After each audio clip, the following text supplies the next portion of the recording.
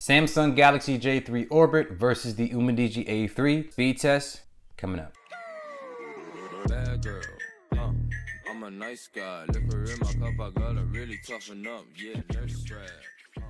So with the J3 Orbit, we have the Samsung Exynos octa-core 7885. It's clocked at 1.35 gigahertz, and it's also paired up with the Mali G71 for the GPU. You get 2 gigs of RAM, 16 gigs internal storage, and you also have Android 8.0 security patch September 1st, 2018. Now with the Umidigi A3 here, we have a MediaTek processor in it. Not sure the exact model number, but it is clocked at 1.5 gigahertz. It's quad core. It has the IMG 8XE 1 PPC for the GPU. I'm not gonna lie to you, I don't know what that is, but that's the GPU in this device. 2 gigs of RAM, 16 gigs internal storage, Android 8.1 on this device, security patch October 5th, 2018. Now the Antutu benchmark scores are where you see the biggest difference between these two. The Samsung Galaxy J3 Orbit has a score of 66,148, while the Umidigi A3 has a score of 44,943. Now it's about a 22,000, maybe 21,000 difference there, so performance-wise, should be a clear winner in this case, but you never know. Now looking at the Geekbench scores, on the J3 Orbit, we have a single core score of a 973 and a multi-core score of 3,143. On the other hand, the Umidigi A3 has a single core score of 652 and a multi-core score of 1,760. Clearly, there's a difference between the performance of each device, but numbers is one thing, actual everyday performance is another. So if you aren't familiar with my speed test, I do a series of app opening tests to see which device opens up the applications faster. Afterwards, I do a RAM management test to see which device holds the applications in the background better. Depending on which device performs one of those two things the best, that is going to be the winner of the test. Sounds cool? Let's get started. So the first app we're gonna open up is the Play Store. So three, two, one. Looking like a tie to me. Next app we're gonna open up is YouTube. So three, two, one. Okay, that goes to the Umidigi A3. Next application we're gonna open up is Instagram. So three, two, one.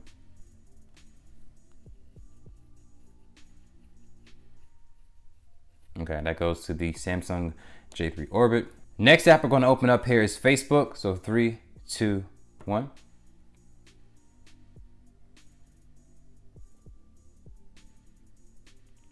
Uh, I guess that goes to the J3 Orbit. Not bad for the Umidigi J3. It's right there though. Next app we're going to open up here is Spotify. So three, two, one.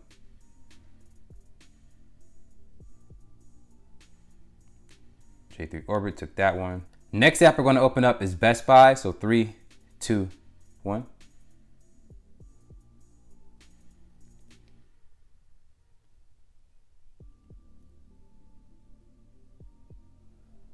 Then goes to the J3 Orbit.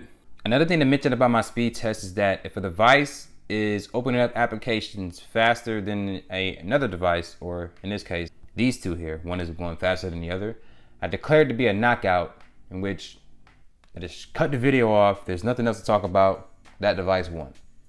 So we're on the verge of that here with the J3 Orbit and the Umidigi A3. We hope that don't happen, but you know, that's life. Next app we're gonna open up here is Netflix. So three, two, one.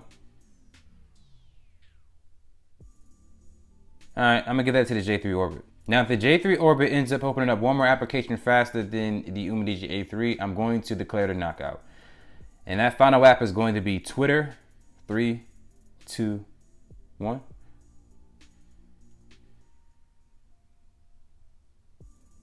All right, that goes to the J3 orbit. So, fake bell. Ding, ding, ding, ding, ding, ding. Got to declare the winner to be the J3 orbit. It took that one simply because it opened up every, or almost every application faster than the Umidigi A3. So unfortunately, that's going to be the end of this video here. But if you guys have any questions, let me know in the comment section below. But be sure to share this video with your friends and family and let them know that not all Android cameras suck. It's just not true. But until then, my name is Maxiroc. Thank you for watching this video. Have a good day, y'all. Deuces. Yeah,